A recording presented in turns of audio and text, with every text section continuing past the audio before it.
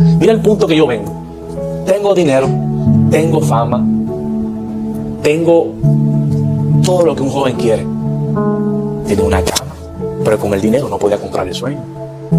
Tenía fama y dinero y no podía conseguir un doctor que me sanara. No podía comprar la salud. Y ahí yo me di de cuenta, como decía el apóstol Pablo, todo lo tengo por basura. Fue fuerte porque solo el que pasa este problema sí sabe lo que es. No dormía, no dormía. Me acuerdo que el cuarto día no aguantaba más. Ya mi mente se estaba. Pensamientos fuertes tenía. Empezó a caerme la depresión encima, el ataque de los demonios espiritualmente. Pensamientos muy profundos. Ya mi mente estaba. Yo dije, yo no tengo arreglo, me perdí, mi estado emocional estaba muy dañado. Me acuerdo un día, llamo a, a Robert porque no aguantaba más. Le dije, Robert, yo tengo que entregar mi vida a Cristo porque yo siento que de aquí yo no paso. Que el diablo te mete eso en la cabeza, te quedaste así, te vas a morir así, no hay solución, porque eso es lo que pone el diablo. Poner eso en tu mente. Llamo a Robert y acepto a Cristo. De día sin dormir, bebiendo pastillas, me metía un montón de Benadryl. No dormía cuatro o cinco Benadryl. De todas pastillas en el mundo yo busqué, nada me hizo dormir. Ni los médicos con todo lo que estudian, ninguno pudo sanar eso que traía. Y eso me cautivaba así. No puedes dormir, te vas a quedar así toda la vida.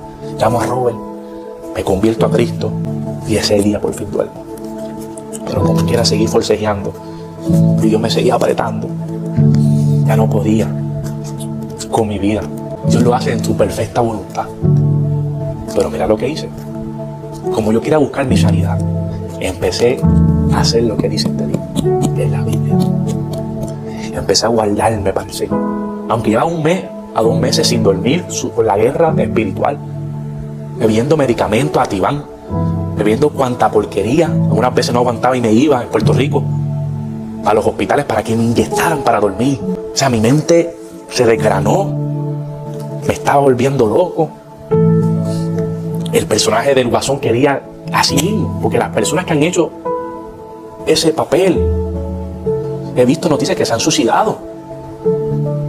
O sea, uno no puede jugar con fuego. Y yo estaba jugando con fuego y ese espíritu quería atormentarme, quería así, yo estaba luchando, ya estando convertido, porque Dios me sanó los dos meses. Dios me sanó los dos meses. Y empecé a hacer ayunar, dejé de hacer música, aparte de las redes sociales, no hice más reggaetón, más trana, esa, nada de eso me resolvió, nada de eso me resolvió. Si yo quería sanar mi alma, tiene que ser apartándome para Dios.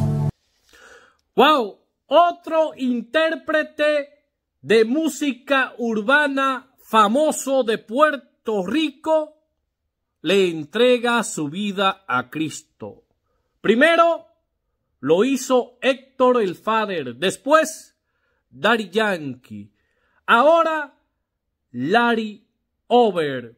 Dice Larry que aunque tenía una buena cama, no podía dormir tranquilo. Que aunque tenía fama y dinero, se sentía vacío. Y es que no importa si es el presidente más poderoso sobre la tierra o el científico más superdotado o el artista más famoso y trascendente cuando Dios lo ala sin importar el poder material y la fama que tengan, tienen que ir a arrodillarse a los pies del Señor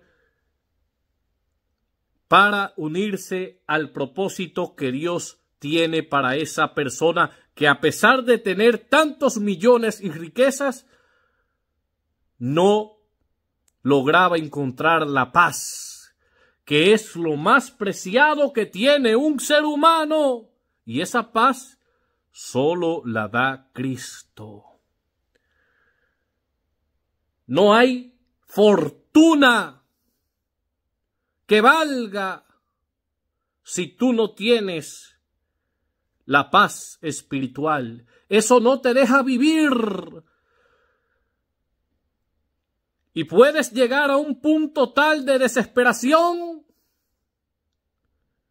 que te sientes asfixiado y a punto de morir. Y en ese momento llega Cristo y te salva, como lo ha hecho con Larry Over y con otros más artistas famosos que en los mejores momentos de sus carreras tuvieron que salir corriendo de donde estaban porque sentían que iban a desaparecer. Y de un momento a otro, cuando aceptan al Señor, la vida les cambió. Problemas que ni los psiquiatras, ni los psicólogos, ni los médicos en general podían resolver. Estos artistas, muchos de ellos, estaban desesperados, pensando que ya no había remedio. La ciencia no, le, no les tenía una solución pero solo bastó con que aceptaran al Señor y miren ustedes cómo la vida les cambió para siempre. ¿Acaso no es eso increíble? Y así hay personas que se resisten a creer en Dios.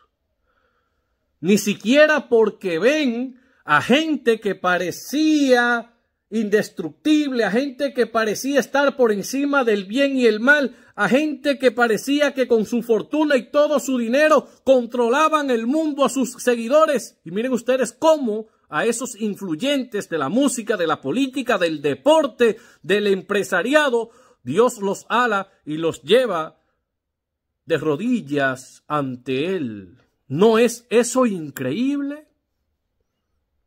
¿Qué más se necesita para aceptar el poder que tiene Cristo? ¿Qué más? Cuando el Señor elige a una persona, puede ser el hombre más poderoso sobre la tierra y tiene que ir de rodilla a los pies de Jesús, en busca de su paz, de la calma, de apaciguar ese tormento que se ha apoderado de esa persona. Y después que la vida les cambia y que encuentran esa paz espiritual, no la dejan por nada en el mundo.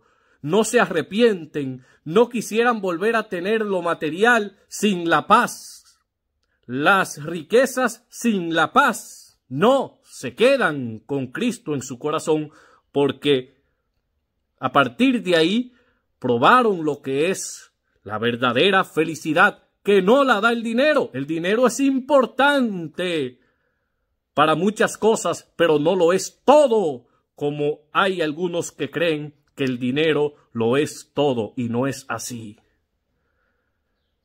Y hay personas que en principio por orgullo, aún teniendo esa intranquilidad y esa infelicidad dentro de ellos, se resisten a aceptar a Cristo, pero llega un momento que no aguantan más y tienen que ceder porque nadie está por encima del poder de Jesús. Wow, señores, y cada día veremos más y más artistas famosos de diferentes géneros musicales con mucha fama y dinero llegando a los pies de Cristo en busca de paz y de felicidad.